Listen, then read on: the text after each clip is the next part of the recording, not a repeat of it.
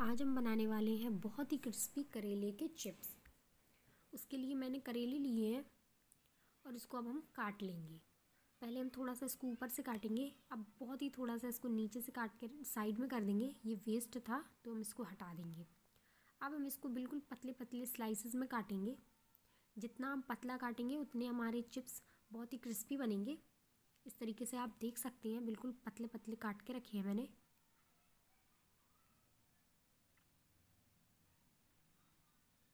इसी तरीके से हम सारे करेले स्लाइसेस में काट के रख लेंगे साइड में। अब लेना है हमें एक बोल और उसमें डालेंगे हम खूब सारा पानी। पानी डालने के बाद अब हमें डालना है इसमें एक चम्मच नमक। अब हम इसको बहुत ही अच्छे से मिक्स करेंगे जिसमें नमक अच्छे से सी में घुल जाए पानी में।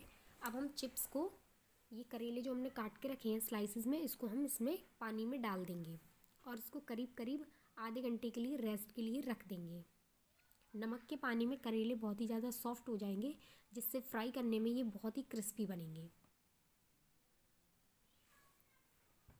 अब इनका हम पानी निकाल लेंगे। आधे घंटे बाद मैंने पानी निकाल लिया है। अब हम इसको साफ़ पानी फिर से डालेंगे और एक बार इनको अच्छे से धो लेंगे। इसमें जो एक्स्ट्रा नमक होगा वो सारा निकल जाएगा। अब हम इसका सारा पानी हटा लेंगे और फिर से एक बोल लेंगे। अब इसमें डालेंगे हम नमक। नमक डालने के बाद अब डालेंगे हम इसमें लाल मिर्च का पाउडर और डालेंगे इसमें हम गरम मसाला। साथ में डालेंगे इसमें चाट मसाला। थोड़ी सी, बहुत ही थोड़ी सी डालेंगे इसमें हींग और बहुत ही थोड़ा सा डालेंगे इसमें हम अजवाइन। अब कंबाइन के लिए डालेंगे हम इसमें दो चम्मच बेसन। अच्छे से मिक्स कर लेंगे इसको हम। इसमें हम पानी वगैरह कुछ भी नहीं डालेंगे। अब हम डालेंगे इसमें ये स्लाइसेस जो हमने करेले के करके रखे थे और इनको बहुत ही बढ़िया से मिक्स करेंगे, जिसमें ये सारा मसाला इसी में अच्छे से कोट हो जाए। आप देख सकते हैं बढ़िया से मिक्स हो चुका है।